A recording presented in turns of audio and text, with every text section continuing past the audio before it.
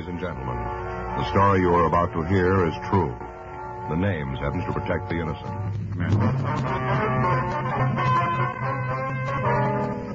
You're a detective sergeant. You're assigned to burglary detail.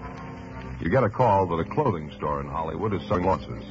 The value of the stolen property is over $12,000. There's no lead to any of the thief, no pattern to his M.O. Your job, get him. Was Wednesday, June 3rd. It was hot in Los Angeles. We were working the day watch out of burglary detail. My partner's Frank Smith. The boss is Captain Bernard. My name's Friday. We were on our way out from the office 9.56 a.m. when we got to 1592 Vine Street. Dodd's men's store. Excuse me? Yeah? Wonder if you can tell us where you find Leonard Dodds? Yeah, uh, that's him, fellow back there in the blue suit. Thank you. Thank you. Well, I don't know how it happened, honey. No, I just came in this morning I noticed the stuff was gone. Hmm? Whole shipment of suede coats. Haven't even been unpacked yet. Yeah, about two dozen of them. Well, white with a button-down collar. Yeah, I called the cops and the insurance company. Yeah. Well, about 12000 Well, a couple of customers just came in, honey. I'll call you back. Yeah. Well, don't worry about it. Mm-hmm. Yes, sir? Can I help you, gentlemen? Mr. Dodds? That's right. Police officers. This is Frank Smith. My name's Friday. How do you do, sir? You reported a burglary this morning? Yeah, you guys from Hollywood? No, sir. We're out of Central. I didn't think I'd seen you around here before. You want to tell us what happened? Yeah, come on back to the storeroom. When did you first discover the theft? Well, this morning when I came in, I went back here to unpack merchandise, and I found most of it gone. Here, I'll get to do it. Now, this is our storeroom. With a shipment from the east, the cases are to get a chance to unpack the invoices. I see. Was all of the stolen merchandise taken from this room? I'm not sure about that. I do know that a shipment of suede jackets and waistcoats was in here. It's gone now. A couple of cases of shirts, too. The only way I'd have of knowing if they took anything from out in the store itself would be to make a complete inventory. Mm-hmm. What do you estimate the loss at? $12,000. When was the last time you saw the merchandise in here? Yesterday afternoon. About what time? Well, I'd have to guess at that. I'd say about 3 or 3.30. How many doors are there to the store here? Just the front one, one in the back, opens into an alley. What if we could see the rear door? Hmm, sure. Back this way. One of the first I called was found out gone, then I checked the door. It was still locked. Uh, you have an alarm system in the store? Yes, didn't go off last night, though. I see. This is big for yourself. There's nothing locked. No, no signs of a Jimmy. Well, that's what I thought, too. I looked pretty close. Couldn't any sign of where they got in. How about windows? Hmm? Possible they got in through a window? No, I'm sure that two got her in the shot.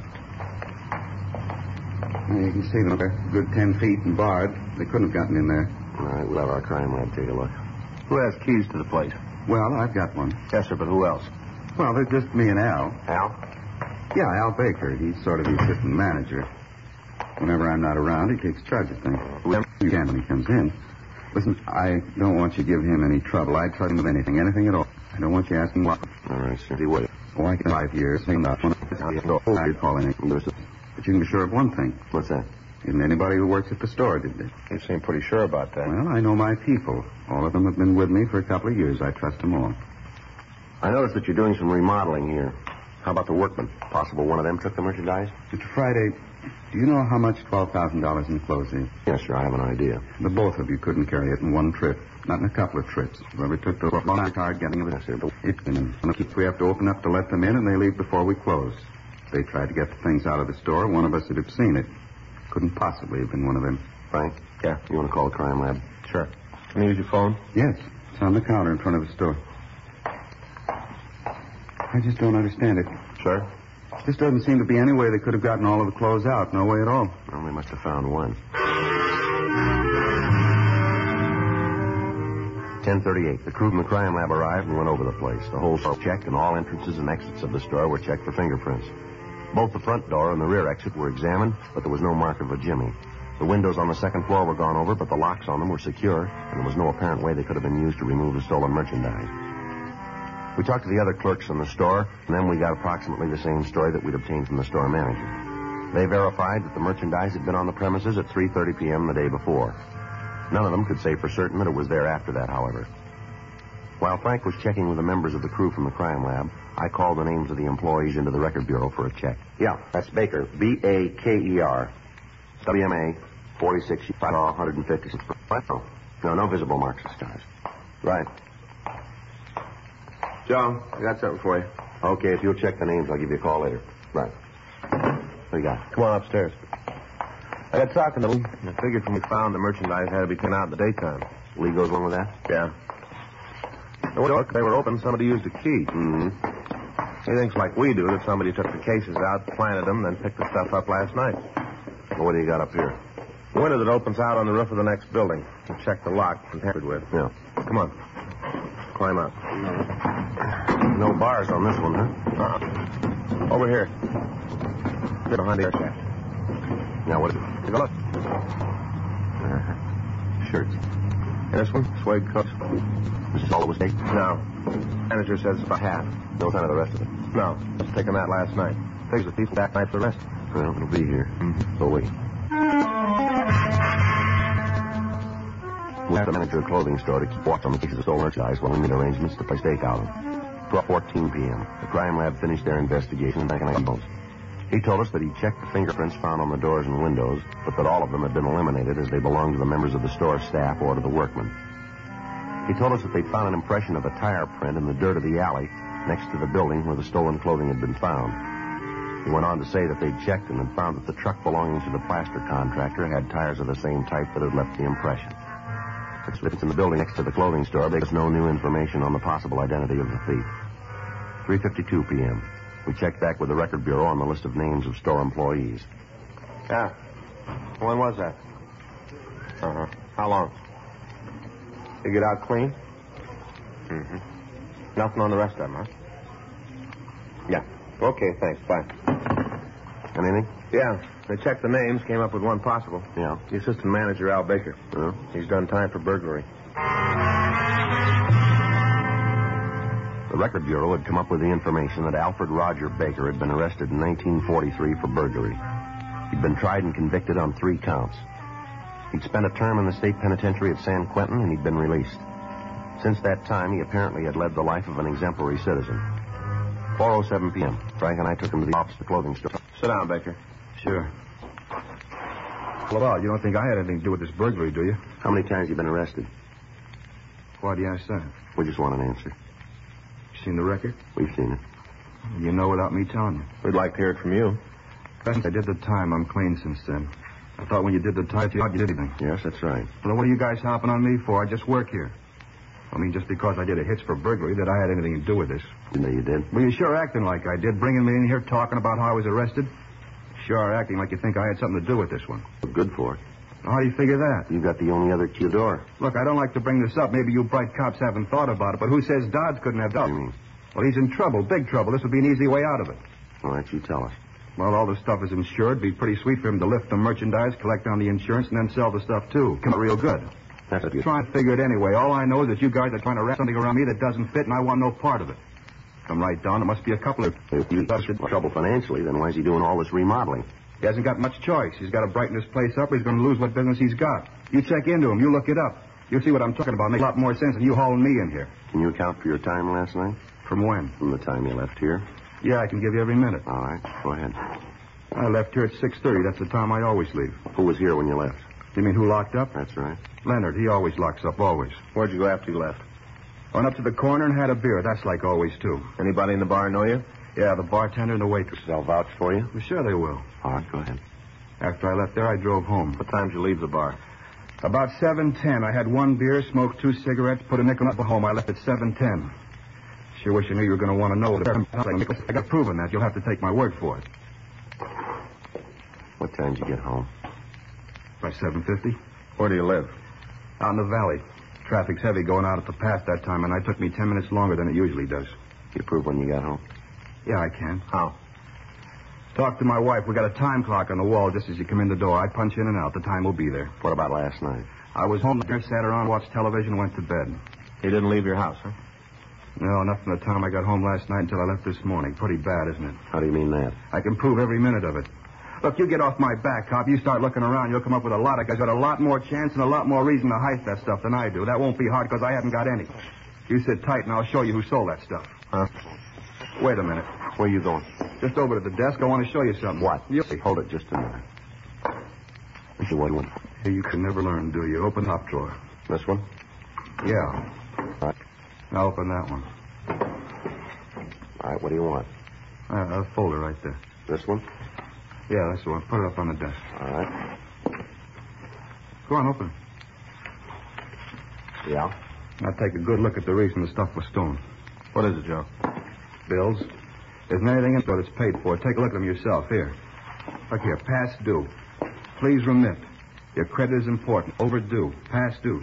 Go through the rest of them. They're all like that. There isn't a place in the country anymore that'll extend any credit to Dodds. Not one. You're looking for some kind of reason to steal the stuff? Well, there's your answer. You talk to him. He's got the reason. Come in. Joe. Thanks. Okay. Okay. telling you, you got to lean on somebody. You lean on Leonard Dodds. He's the one. Don't come around here bothering me. Joe. Yeah. Here we go. He might be telling the truth. Huh? Stuff on the roof. Yeah. It's gone.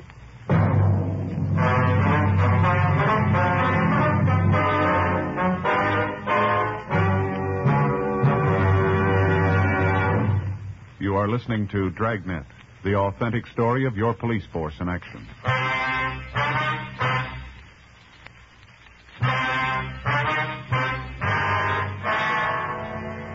With the removal of the remaining packages on the roof, our main opportunity in the thief was gone. We questioned the people in the store. From them, we learned that the man odds had brought the cases of clothing into the store himself. We talked to him, and he offered as an explanation the fact that the insurance company wouldn't like him leaving a supply of expensive suede coats up on the roof. He went on to say that catching the thief was our business to apprehend him. We tried to question him regarding the accusations made by the salesman Al Baker. He said they were ridiculous and that we should let him listen to the next convict. Went on to say that he resented the questions we put into the office and made arrangements for a stakeout to be set up on the roof of the building next door. And then Frank and I returned to the office to check further on Leonard Dodds. We checked with his bank and we found that he had several notes on the clothing store. The head of the loan department told us that Dodds' payments had been irregular and that at the time he was overdue on one of the notes. We contacted the insurance company and found that Dodds had made a claim on the stolen merchandise that morning and had requested payment as soon as possible. We turned a list of the stolen articles over to pawn shop detail and asked them to see that the information would get into the hands of the second-hand dealers in the city. 10:15 p.m. Frank and I filled out the log and prepared to leave the office. You about ready? Yeah, I'll be right with you. I got it. Burglary Friday. Yes, ma'am. Hmm? Well, I'm not sure. No, the officer that handled the case isn't here right now. What if I could take a message? Yes, ma'am. He'll call you when he gets in. All right, uh-huh. Yes, all right. If you'll wait just a minute, I'll transfer to the main jail. No, the main jail. They'll probably be able to tell you. Yes, that's right. Just a minute. Hold on, please. Would you give this call to 2949, please? That's right, the bail clerk. Thank you. Woman wants to know how much it's going to cost to get her out of jail. I got it. Burglary Friday. Yeah, mm-hmm. Yeah, that's right, we did. Yeah. Well, when was that? That's right. Yeah. Okay, we'll wait here. Right, bye. Well, looks like we got it made, maybe. What do you mean? Radio car out in the Westlake district just picked up a couple of kids. Uh-huh. Both of them were loaded down with clothes. Yeah. Label on them is Dodds Clothing. The radio car officer had told me on the phone that he and his partner, while making a routine patrol of the area, had spotted two boys walking down the streets carrying large quantities of clothing. When they were stopped, the two suspects were unable to account for the clothes, and they were not able to tell the arresting officers where they'd gotten them. In checking the pair out, the officers had called burglary detail, and we'd gotten our first concrete lead to the thief. 10:47 p.m. The two suspects arrived at the office. Their names were checked through R&I, and they were both found to have misdemeanor records listing petty theft and attempted burglary. One of them, Walter Kramer, had been convicted on burglary charges and had been sentenced to Preston School for Boys. He was at the time on parole. While the other boy waited in the squad room, Frank and I questioned Kramer in the interrogation room. How old? 18. Where do you live? You know that already. What are you asking me again for? I told the other cop, gave him all the information. Where do you live? 574 Brandon Street. You want to tell us where you got the clothing you had when you were picked up? You're smart cops. You figure it out. You on parole now? No, I got out clean. Are you still that way? That depends on how you read this one. Where'd you get those things? I found them. You expect us to buy that? I don't care if you buy it or not. It's the truth. You're pretty heavy, aren't you? I've been around. That time up at Preston didn't do you much good, did it? You'd be surprised what I learned up there. Not what you were sent there for. That depends on where you're sitting. You were picked up carrying a load of stolen clothes. You want to tell us where you got them? You tell me. Now, come on, kid. Where'd you get the clothes? You going to play it that way, are you? There ain't any other. Where were you yesterday? Starting when? From when you got up? I gotta tell you all that? We want to hear it. Pretty dull. All right, go ahead. Well, I got up about noon. You got a job? Yeah. Where? Around. What do you do? Nothing. I'm a philosopher. I study people. I just sit around all day and study people. How do you live? Mike's up the tab. Go ahead. With what? What you did yesterday? Told you I got up about noon. Had some breakfast, then went over to Harry's. That's the boy you were picked up with? Yeah, I went over to his house, sat around and watched the television. How long were you at his house? Oh, maybe six. Sat around and talked philosophy. Talked and watched the old movies. What'd you do then? Left and went out to study people. Where'd you go? Went down, played a couple of games of pool, had something to eat. And after that? Went out to a movie. You got any way of proving that? Sure, Talk to Harry. See your alibi? Yeah, you talk to him. He'll tell you. Now, you may not know this, but he's in the theft as deep as you are. I got some information for you, cop. Neither one of us is in on it at all. All right, get your coat. Where you taking me? City jail. You gonna book me? You called it. About him? He going too? Yeah. Charge. Suspicion 459 PC. Burglary? That's right. Come on. You mean that stuff is really stolen? That's right. You're telling me right. Yep. It ain't true. You tell us about it. No, I mean, Harry and me didn't steal the stuff. uh, At least not the first time. What do you mean by that? Well, we stole it, yeah. You got us cold for that. But not the first time. Well, where'd you get it? From a garage, that's the truth. We stole the stuff from a garage. Where is the place? I'll show you. There's a lot more stuff there, a lot more. Clothing? Yeah, Whose garage is it? I don't know. Harry and me were walking around out there, and we saw this truck pull up. Guy got out and unloaded some packing cases. When was all this? Last night, the way the garage looked, though, it wasn't the first time. The place was loaded. A lot of shirts, coats, suits, all kinds of things. Harry and me figured that we might as well help ourselves. We didn't steal the stuff originally, not the first time. What's the address where the garage is? I don't know. Up on Shortdale Avenue near the lake. All right, we take you up there. Will you point it out for us? Sure, I'll show you. I want to see him get his, get it real good. What do you mean? Imagine having a garage full of stolen things. What? Is that right? Sure. The important thing is that you know that we didn't steal it the first time. You got to believe that. We didn't steal it the first time. Is there really a difference?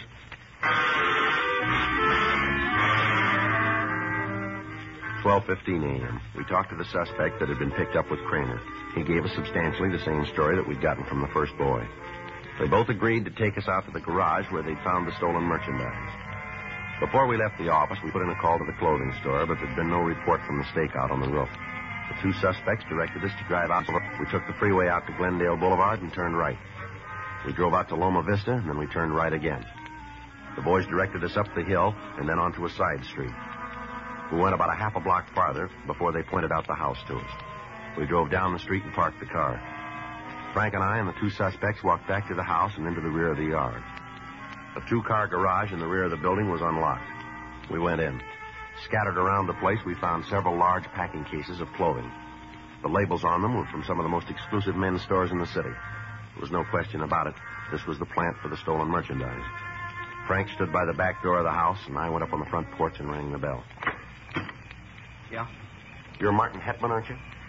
Yeah, do I know you? My name's Friday, police department. Oh, yeah, I met you over at Dodds. What is this, more questions? Yeah, a few. Kind of late to come around, it? Well, maybe a little. Just going to turn in. Can you wait till morning? I could come down to the police department. No, I'm afraid we're going to have to talk tonight. Oh. Okay, come on in. Thank you. Anybody else in the house? Just my wife and the kids. Where are they? Upstairs, they're all asleep. I told you I was just going to turn in. Uh-huh. That garage out back, does that belong to you? What? The garage out in the back of the lot, is it yours? Yeah, it's mine. Why? What do you use it for? what do you use a garage for? I keep the truck there. Well, where's the truck tonight? I left it at a service station down in Glendale Boulevard. Having a grease and the oil change. Why? Anybody else use the garage besides you? No. Everything in it belong to you? Do You mind if I call my lawyer? Well, you can do that from downtown. You arresting me? Yes, sir. You found the stuff, huh? We found it. Got a cigarette? Yeah, here. Here's a match. I guess I should have gotten it out of the garage sooner. Mm. Figured on it first thing in the morning. When you talked to me this morning at Dodds, I should have known. Should have known right then. I didn't think you'd figure it this way. All right, come on, get your coat. Yeah. Just let me finish the cigarette. You sure had it figured. Going real good. Want to hear about it? All right. Well, I'm a plastering contractor. You know that. Yeah, you told us that this morning. Well, I bid on the jobs. All the contractors submit bids on how much we'll do the work for. You know what I mean? Mm-hmm. I always got in with a low bid. Used to drive the other contractors crazy. Never could figure out how I could come out on it. You see it, though, don't you? Well, you tell me. Well, you see, if a job would cost me, say, uh, $3,500 to do, I'd put in a bid for 2500 I always get the job, and then I'd steal the other thousand of merchandise, see? Mm-hmm. I could get hurt. What about the store owner? I weren't insured. Only body in the middle was the insurance company, so you see, nobody really got hurt. You about finished with that cigarette now? Yeah, just about. Pretty lucky, you know? Is that right? Yeah, sure. This was going to be the last time. I figured that after this, I'd be able to go it straight. Got my equipment all paid for, money in the bank. Figured I could go it straight. This was going to be the last time. Well, you were right, weren't you? Hey, you mind telling me something? What's that? How'd you tag me? How'd you find out? We caught a couple of kids breaking into the garage. They'd stolen some of the clothes. They were picked up, and they pointed the place out to us. Kids? That's right. How about that. That's really terrible, isn't it? What is? Oh, this younger generation. I had legitimate reasons. I was just trying to come out. Wasn't anybody going to get hurt my way. But those kids. I hope you're going to put them away for a long time, little thieves. Come on, get your coat. Let's go. That's just awful. No sense of honesty at all. I sure hate to think of what the world's coming to. You want to tell me something, Hetman? Sure. What do you want to know? Well, you said you just stole the difference between what you agreed to do the job for and what it really ought to be. I got it right? Yeah, just the difference. Well, you hit the Dodds store pretty hard, didn't you? Twelve thousand dollars worth?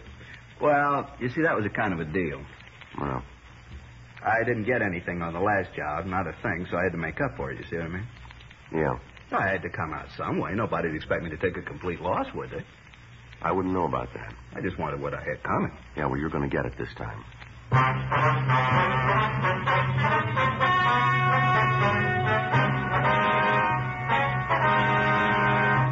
Martin Averill Hetman was tried and convicted of burglary in the second degree, four counts, and received sentence as prescribed by law.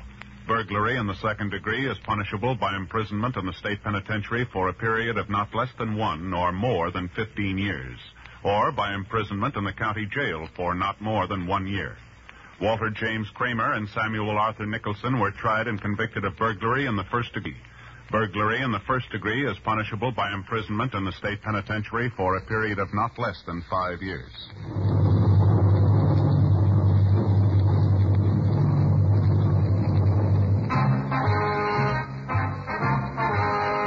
Dragnet is a presentation of the United States Armed Forces Radio Service.